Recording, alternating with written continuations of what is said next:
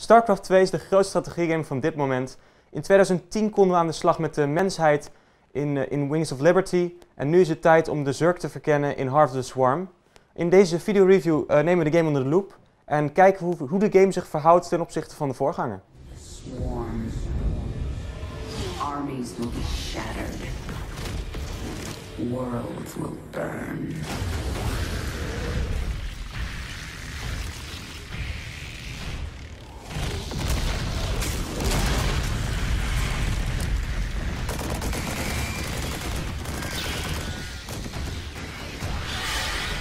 Ja, Wester, StarCraft 2 Heart of the Swarm dus. Het directe vervolg op uh, Wings of Liberty, wat in 2010 uitkwam. Um, ja, voorheen draaide het om de mensheid en dit keer om de campagne met de Zerg. Ja, Wester, uh, leg eens uit, waar draait de campagne dit keer om? Nou ja, het gaat dus inderdaad om de Zerg en het houdt op waar Wings of Liberty, uh, Wings of Liberty's campagne ophield. Ja. Dus Kerrigan, dus de, de leider van de Zerg, is gevangen genomen door de mensen. En uh, want het was oorspronkelijk een mens en die is vervolgens uh, aan het einde van Wings of Liberty is die weer terug veranderd in een mens. En het was helemaal men monsterlijk geworden, helemaal zurk. Ja. En die is weer terug veranderd in een mens.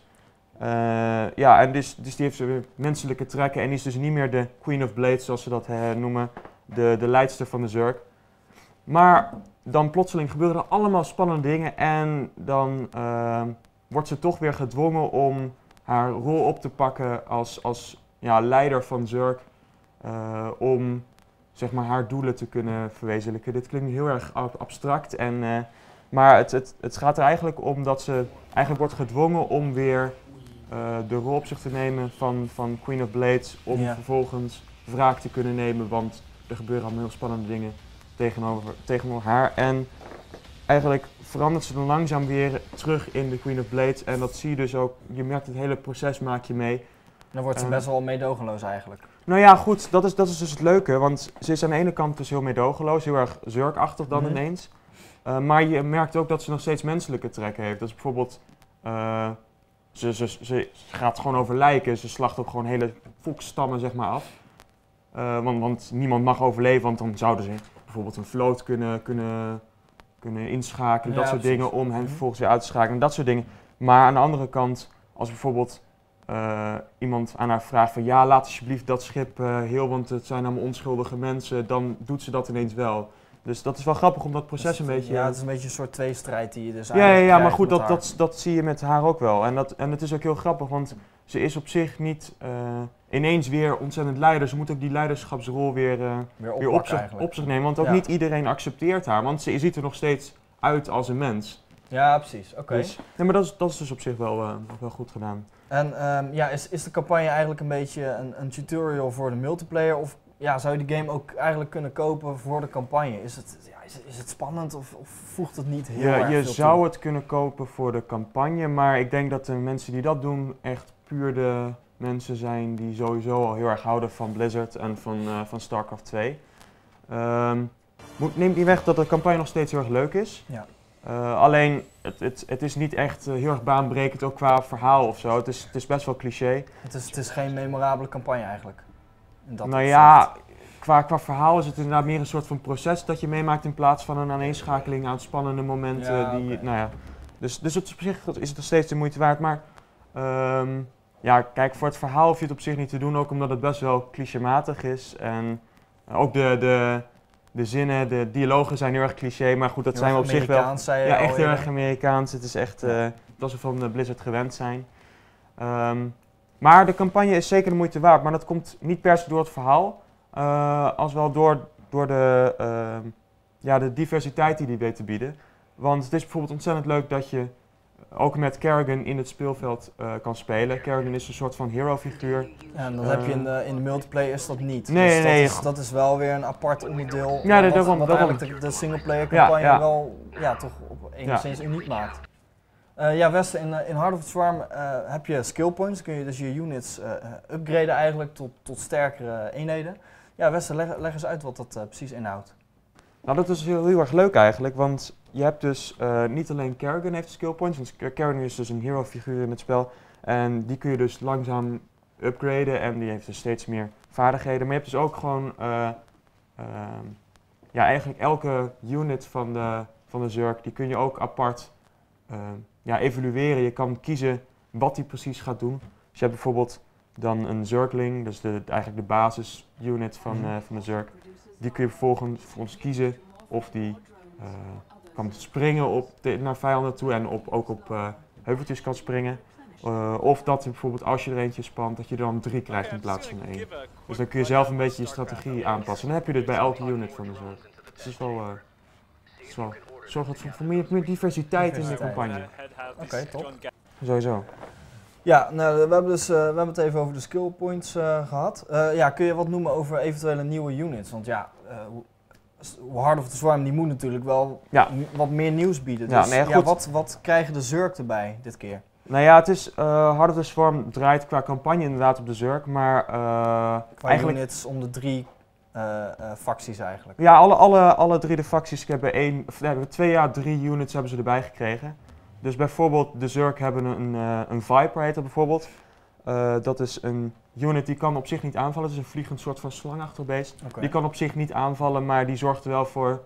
Um, ja, die kan, die kan zeg maar spelsachtig uitvoeren om bijvoorbeeld, uh, nou ja, je hebt bijvoorbeeld tanks die staan gestationeerd op de grond en dan zorgen die ervoor dat hij niet lange afstandsaanvallen kan doen, maar alleen maar melee aanvallen kan doen. Ja, precies. Dus dan zorg je dus voor dat, dat je als je heel veel afstand, uh, heel veel, heel veel uh, ja, grote range. Ja, daarom. Ja. Als je die units hebt, dan, dat, dan heb je voor, voor Je hebt dus allemaal ook nieuwe uh, units die dus nieuwe strategieën ja, toevoegen. En bijvoorbeeld heb je de, de mensheid, die heeft dan een, een nieuwe unit en...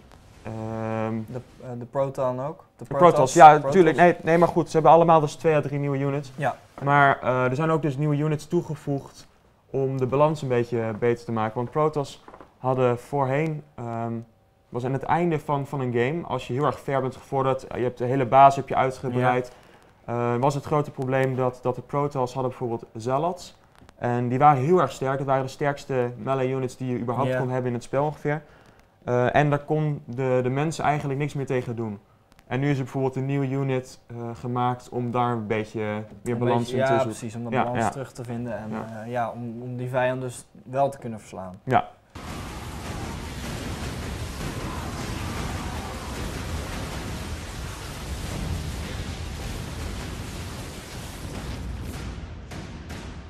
Oké, ehm, ja, ook de multiplayer natuurlijk is iets anders. Uh, is het even sterk als in Wings of Liberty? Merk je grote veranderingen bijvoorbeeld? Nou, je hebt dus meer nieuwe units en dat zorgt natuurlijk voor, voor diepgang, uh, meer tactieken. Want ja, je hebt gewoon nieuwe units die ook uh, ja, meer, meer tactieken mogelijk maken. Maar je hebt dus ook oude units die hebben wat nieuwe vaardigheden gekregen. Wat dus ook weer het spel wat aanpast. Dus ik denk dat sowieso mensen die Wings of Liberty hebben gespeeld, ook weer heel erg moeten wennen aan, aan Harvest Farm. Omdat er dus heel erg veel is veranderd. Niet alleen gewoon aan, aan toevoeging, maar ook aan het spel zelf. Okay. Ook gewoon dat, dat uh, bijvoorbeeld units dus anders zijn. Units zijn inderdaad behoorlijk, nou ja, behoorlijk, zijn deels aangepast. ja, het, gaat heel erg specifiek, dus dat, dat laten we even terzijde. Dan mogen de spelers zelf maar van gamers net zelf uit gaan vinden ja, inderdaad. Um, maar neem niet weg dat de multiplayer van, van StarCraft 2 echt nou, het paradepaardje eigenlijk van het spel is. StarCraft 2 wordt gewoon op e-sport niveau echt gewoon gigantisch hard gespeeld. Het is echt een uh, super hardcore game. Maar je kan natuurlijk op internet ook gewoon vriendschappelijke potjes spelen, dus het hoeft niet allemaal heel erg hardcore.